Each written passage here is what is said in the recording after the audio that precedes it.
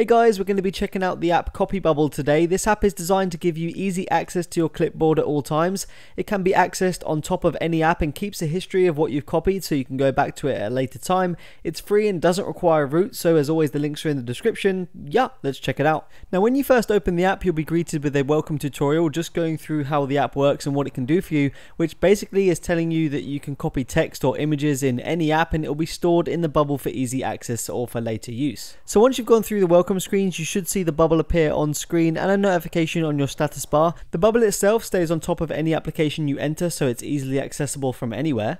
Of course, you can move the bubble around to wherever it's convenient for you. The status bar icon can be hidden, which I'll show you a little later, and there is a persistent notification to actually hide the bubble altogether. So let's dive into an app here and we'll try to copy some text using the standard Android copy method. So tap and hold, expand the markers to the text you want, and hit copy. There's a small animation of your copied text transferring over to the bubble. It's small but effective. And now we can tap the bubble and you can see the history of what I've copied. So it gives you options to copy to the clipboard, share it with any app you have in your device, or delete it. You can pick multiple items, so if you want to copy two or more segments at once, you can. And that's pretty much what the app can do for you. Diving into the settings, it gives you a few options. For example, hiding the status bar icon. Once you have this ticked, you will have to restart the app for it to actually take effect though. So here we can see we don't have the status bar icon anymore, but you can still access the persistent notification, which by the way gives you an option to hide the bubble from the screen. While it's hidden, the app does still work, so text does still copy to the bubble, but obviously you'll have to unhide the bubble using the notification to actually see the history and see your copied text again.